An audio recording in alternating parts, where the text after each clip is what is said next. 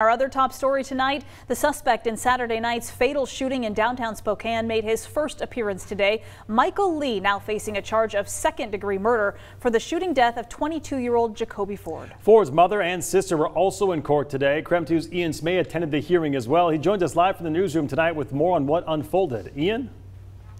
Yeah, good evening. Michael Lee's bail was set at $1 million today by a Spokane County District Court judge. Court documents from a previous incident between Lee and Jacoby Ford are also shedding light on previous threats Lee had made against Ford.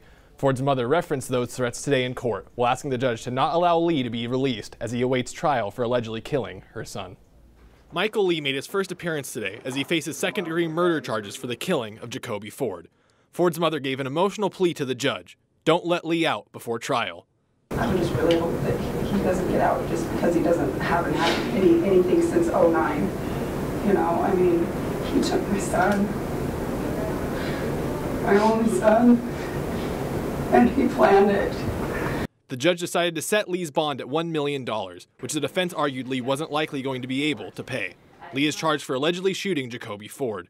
Ford was a graduate of Shadle Park High School, where he was a star athlete in basketball and track and field. In fact, he had won the Hoopfest dunk contest in 2019, and in 2017 became the first athlete since 1967 to win the long jump, triple jump, and long jump events at the USA Track and Field Junior Olympics.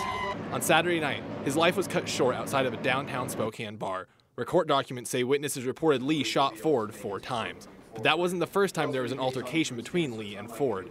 Lee is involved in another court case for second degree assault and harassment after threatening to kill Ford in February. Court documents say Lee was angry with Ford because he was dating a woman who Lee had a child with. Court documents say Lee sent Ford threats of violence, including, I'm putting one in your head and I'm shooting you.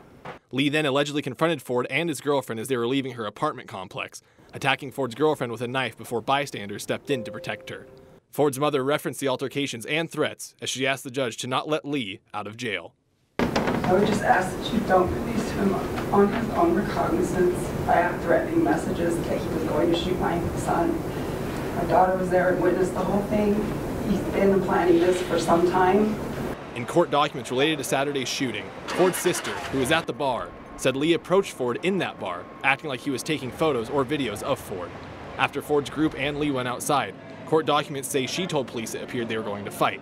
Then, Lee allegedly turned away from Ford before turning back and firing the fatal shots.